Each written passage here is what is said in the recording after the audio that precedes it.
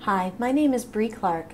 I'm a software expert and today I'm going to show you how to cut and paste information from Google Docs into other types of documents. First I'll go to my Google Drive at drive.google.com. Here I have a sample document already created, but you could also uh, go into a new document and do this if you had typed some new text. I'm going to click on sample document 1 to open it up. and then I'm going to select some text. I'm going to select this sentence that says this is a sample sentence and then I'll just use Control X on my keyboard to cut that sentence.